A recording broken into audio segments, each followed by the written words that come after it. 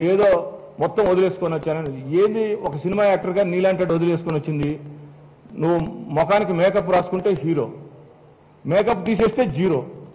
ఆ మేకప్నే కదా నువ్వు వదిలేసుకొచ్చావు. ఏం వదిలేసి వచ్చావు ఏమి త్యాగం చేసి వచ్చావు చెప్పు. నీ ఆస్తి ఏంది? లేకపోతే అంటే రోజు ఒక అమ్మాయితో కులగటమో లేకపోతే రోజు మందు కొట్టడమో లేకపోతే విదేశాల్లో విహరించటమో మనిషి జీవితానికి ఇదేనా?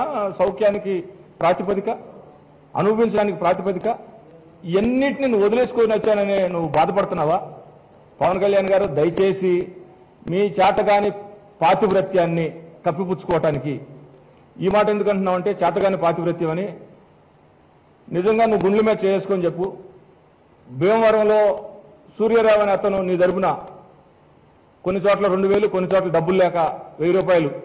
సూర్యమిత్ర ఎక్స్పోర్ట్స్ సూర్యారావు డబ్బులు పంచాడా లేదా నీకు గెలుపు కోసం? పంచినా సరే మీరు బొక్కబాటలో పడ్డారో లేదా ఆ సెంటర్లో?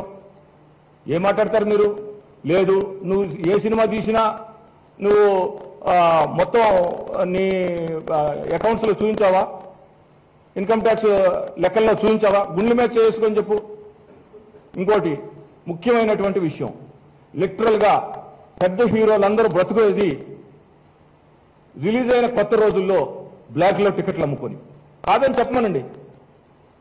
నువ్వు అలా నిన్నటిదాకా నీ అజ్ఞాతవాసి సినిమాతో సహా నీ అభిమానులకే ఇరవై రూపాయలు యాభై రూపాయల టికెట్ని నాలుగు వందలకి ఐదు వందలకి అమ్ముకోలేదా? ఏం మాట్లాడతారు మీరు? సమాజం గురించి నీతి గురించి నియమాల గురించి జైలుకి వెళ్ళి వచ్చాడు జగన్మోహన్ రెడ్డి విజయసాయి రెడ్డి జైలుకి వెళ్ళి వచ్చాడు ఇప్పుడున్నటువంటి ఆధునికమైనటువంటి రాజకీయాల్లో జైలుకి ఏ పరిస్థితులు వెళ్తున్నారో నేను ప్రత్యేకించి చెప్పాల్సిన అవసరం లేదు. ఇదే అమిత్ షాని ఇదే అమిత్ షాని సాక్షాత్తు హోమ్ మినిస్టర్గా ఉన్నటువంటి చిదంబరం జైల్లో పెడితే అదే అమిత్ షా మరలా చిదంబరాన్ని జైల్లో పెట్టాడు.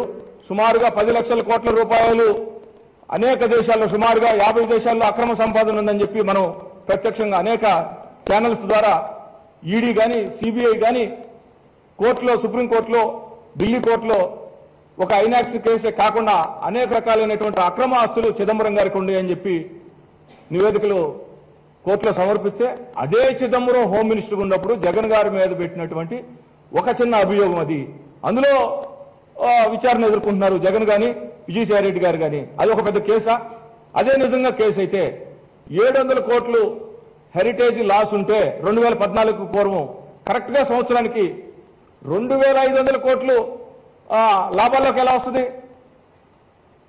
చంద్రబాబు నాయుడు ముఖ్యమంత్రి అవ్వగానే వాటి కేసులు ఉండవా ఏందో చెప్పండి మీరు. ఇలాంటి చర్చ గురించి మీకు ఇష్టం ఉంటే మేము కొన్ని రోజులు మాట్లాడటానికి సిద్ధం. నువ్వు చంద్రబాబు నాయుడు కలిసి వచ్చినా సరే దయచేసి ఎప్పుడైనా మనం ఒక ఏళ్ళతో ఎదుటాలను చూపించేటప్పుడు మన వైపు కూడా మన మన మన వ్యక్తిత్వం ఏంది? నీ వ్యక్తిత్వం త్యాగం అంట తప్పు నువ్వు ఆ మాట అనగాక నీకు ఏముంటే నువ్వు త్యాగం చేసేస్తావు? నువ్వు ముఖానికి రంగు పూసుకుంటే హీరో ముఖం కడుక్కుంటే జీరో ఏముంది నీకు పోవటానికి? ప్రజలకి ఏదో పెద్ద రాజకీయాలు అనేది సమాజం మీద మమకారం ఉండి ఒక ప్యాషన్తో వస్తాడు సేవ చేయాలని. దాన్ని ప్రజలను నువ్వు అవమానంగా నేను వదులుకొని వచ్చాను. నేను వదులు నిన్ను ఎవరు రమ్మంటే వచ్చావు? వచ్చావు ఓకే వెల్కమ్. ఇది తప్పుడు సాంప్రదాయానికి చంద్రబాబు పవన్ కళ్యాణ్ తెరదీస్తున్నాడు. కరెక్ట్ కాదు. ఆయన చెప్పే నీతివంతమైనటువంటి రాజకీయం కూడా శుద్ధబద్ధమైనది. నేను చెప్పినటువంటి విషయం కాదు. ఆయన పార్టీ పెట్టిన తర్వాత ఇప్పటికి కనీసం ఒక వంద మంది సొంత సామాజిక మార్గం నుంచి బయటకు వచ్చారు. వాళ్ళు చెప్పే మాట. సాక్షాత్తు ఒకరికైతే నేను ఆఫ్ ది రికార్డ్ నేనే చెప్పాను. అందుకని పేరు చెప్పట్లా.